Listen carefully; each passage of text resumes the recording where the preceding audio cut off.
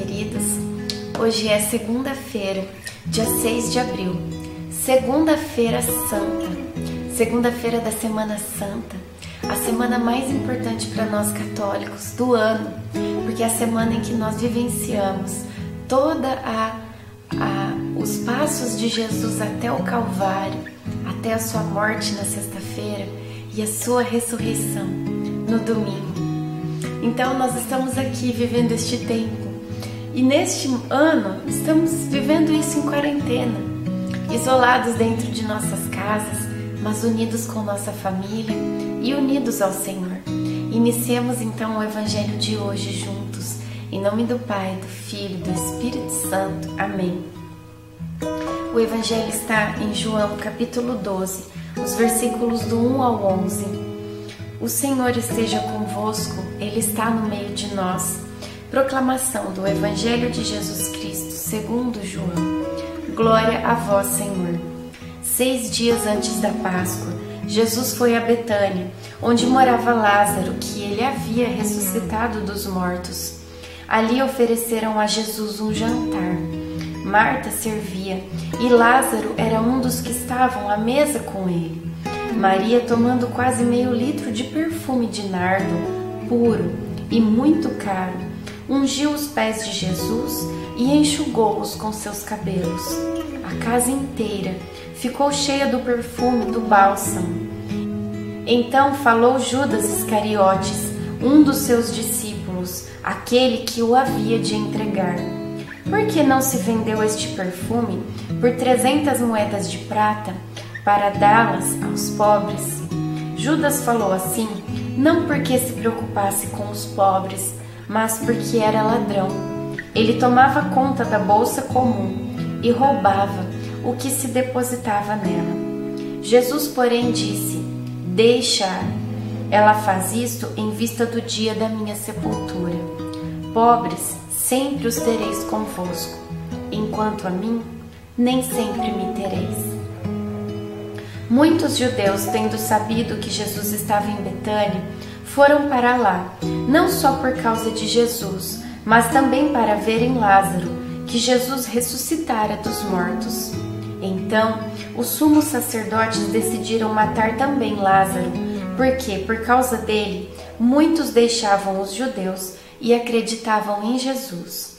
Palavra da salvação. Glória a vós, Senhor. Nós vemos aqui o gesto maravilhoso de Marta, irmã de Lázaro, que embalsama os pés de Jesus com perfume e o enxuga com seus cabelos. A gente vê que ela estava preparando Jesus.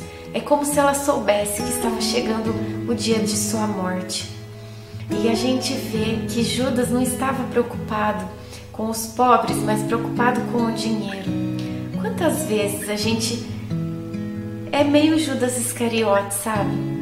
A gente se preocupa ali com as coisas do mundo, com os bens materiais e deixa de ser como Maria, que se preocupa com a vida espiritual. Ela sabe por tudo que Jesus, assim, ela tem esse pressentimento de tudo que Jesus vai passar, porque ele disse que ela estava preparando ele para sua sepultura. Então, gente às vezes precisa, sabe, se desconectar das coisas da terra, ficar preocupado menos com o que está aqui nesse plano físico. Sim, nós precisamos do mundo material. Nós precisamos do dinheiro, nós precisamos nos alimentar, nós precisamos pagar as nossas contas. Mas nós também precisamos estar unidos a Jesus. E a gente pode viver nesse mundo, trabalhar nesse mundo, vivenciar as coisas desse mundo, mas deixar que a nossa alma se una a Ele, assim como esse perfume que que inundou a casa toda, né? Quando tá aqui no relato do Evangelho, que ele inunde a nossa alma, que esse perfume, né, seja para nós um perfume que nos prepara para nos unirmos a Cristo. Nesta semana que estamos iniciando hoje com esta segunda-feira, e que toda a nossa alma seja perfumada por, esse, por essa presença de Jesus, por esse amor. Que nós estejamos como Maria aos pés de Jesus, enxugando seus pés com nossos cabelos, e nos inclinando humildemente aos pés dele e dizendo: Fique conosco, Senhor. Que a sua Semana Santa seja abençoada e que hoje, esta segunda-feira, seja uma oportunidade de se unir ao Senhor. Nós encerramos com a oração do Pai Nosso, da Ave Maria e do Glória. Pai nosso que estais no céu, santificado seja o vosso nome. Venha a nós o vosso reino. Seja feita a vossa vontade, assim na terra como no céu. O pão nosso de cada dia nos dai hoje. Perdoai as nossas ofensas, assim como nós perdoamos a quem nos tem ofendido.